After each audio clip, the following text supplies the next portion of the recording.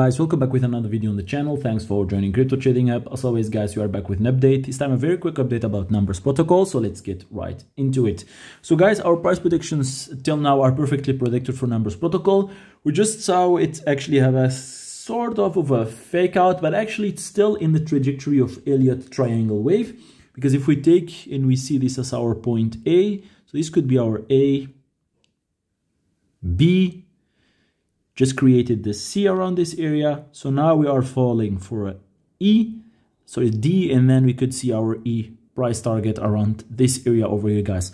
But what's really, really important right now, guys, to continue this trajectory of Elliott triangle wave, A, B, C, D, E, is we need to see us at not close under this level over here. If we close under this level, guys, it means that we are creating a lower low, which is something bearish, which absolutely uh, invalidates this uh, Elliott triangle wave. So this would be like out of the question and we can see just a fall all the way back around this area over here. But as of right now, guys, we are still two hours away from the candle close. We have plenty of room, guys, to even maybe close above this level over here. So this is too soon to judge right now. Are we in an, are we in, in a downfall? Was it just a fake out? If we look at our indicators right now, because we need to to calculate and see our indicators to see what's more what's the more likely scenario.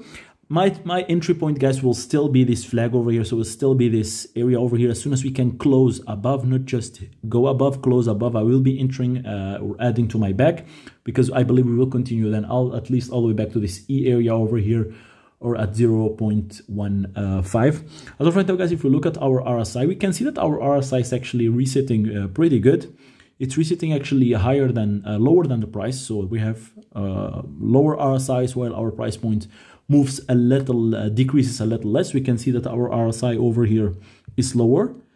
And if we check our price point it's actually higher than somewhere around this areas over here. So that's something a little bullish. We don't see a huge re uh, reset. So this is not something very very like too bullish but it's still on the bullish trajectory.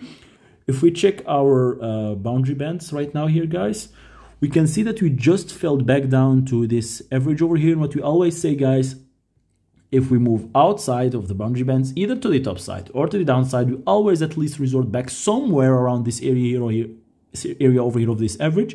So right now we are just above this average over here. So if you look at the, only these two indicators right now, guys, I believe we will see a close above this level over here, above this uh, descending wedge which would see us have some sideways movement and then continue uh, back up. Of course, it's just based on my research. There's no financial advice right now, guys.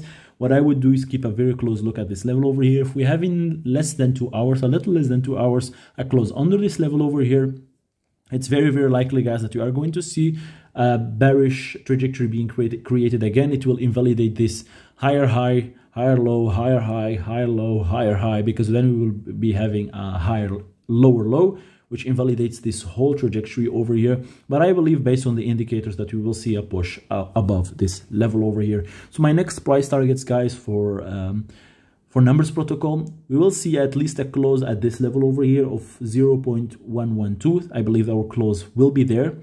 The next target would be at 118.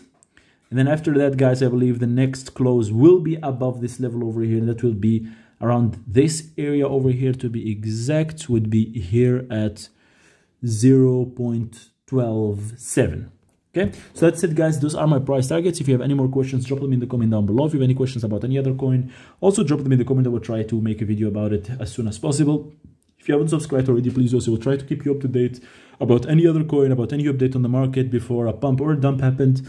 And as always guys thanks for the support and peace out